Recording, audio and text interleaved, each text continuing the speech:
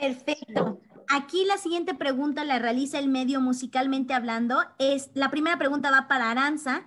¿Cuál fue la experiencia de cantar con emblemas de la balada? Un género que tú manejas extraordinariamente bien. Y la pregunta va para Rosy.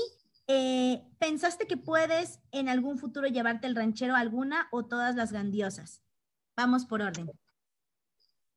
Bueno, saludos a todos. Primero, no había tenido oportunidad de saludarlas a todas, admiradísimas, María Conchita, Janet, Dulce.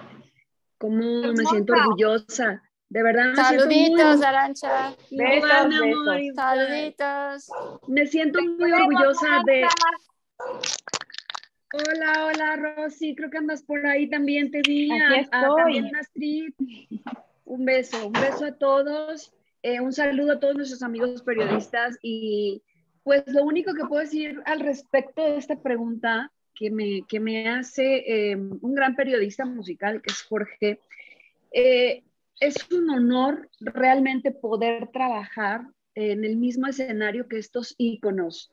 Eh, son mujeres, son mujeres tremendamente reconocidas. Yo, yo digo siempre, son divas, son unas divas. Han hecho de lo que podía ser un, un género a lo mejor comercial, medio plástico, han hecho realmente algo grandioso. Por eso estoy completamente de acuerdo con el, con el emblema exactamente de las grandiosas, porque son grandes intérpretes, grandes voces, pero además de todo, se suben al escenario y matan. O sea, no hay una sola canción que al público le pase de largo. Y tiempos como esos, como esos que ellas, ellas forjaron, pues ya no existen. Yo como cantante de balada, insisto en cantar balada en una época en la que a lo mejor ya no es tan fácil hacer tantos éxitos como han, como han hecho ellas y siguen haciendo.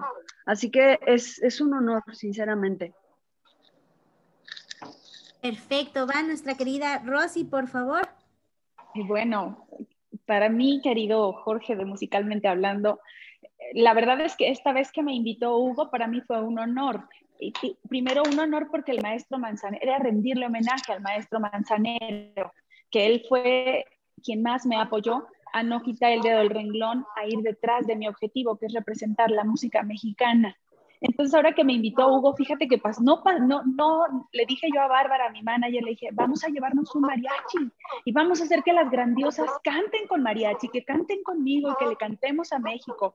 Así me pasó con el maestro Manzanero y con Pancho Céspedes. A mí me tocaba poner el acento mexicano en Armando un Pancho y para mí ahora sería un honor que un día Hugo me diga, órale mi ranchera, tráigase su mariachi y vamos a hacer cantar con mariachi a nuestras grandiosas, que sin duda son un emblema y un ícono de la música, una época de las baladas y es para mí un agasajo y esa idea de un día caerle con mariachi a las grandiosas y llevarle serenata y que canten conmigo sería maravilloso.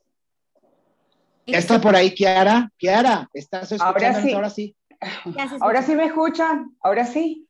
Bravo, bienvenida. ¡Ay, lo logré! Bienvenida. Lo logré finalmente. Gracias, tan bellas todas. Gracias desde aquí, desde, bueno, yo digo en broma a veces desde Caraquistán, por aquí estamos en Caracas, Venezuela, a la orden. Bienvenida, grandiosas, que para mí es, este, te doy la bienvenida a, oficialmente a, a, este equipo de grandiosas, donde Dulce autorizó, no, no es cierto, es una broma.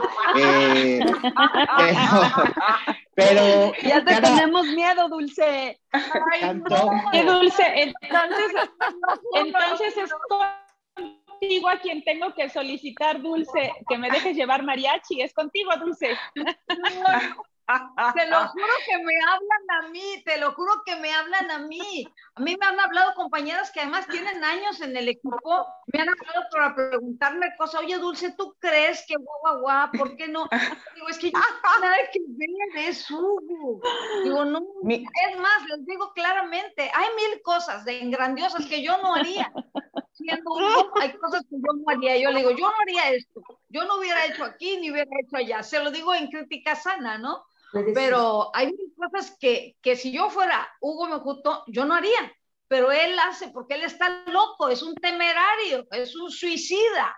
hace unas cosas súper locas y yo digo, bueno, es su juventud, ¿verdad? Y qué padre porque, porque a lo mejor uno por la misma edad, uno se detiene en muchas cosas, pero él no, él es un temerario, él es un lanzado y yo le siempre le digo, vete con cuidado, Hugo, por favor, mídete aquí, mídete allá, pero por otro lado me encanta también su dinamismo, su valor, su, su, este, su decisión cuando hace las cosas. Por eso le salen bien, siempre le salen bien. Gracias, Dulce.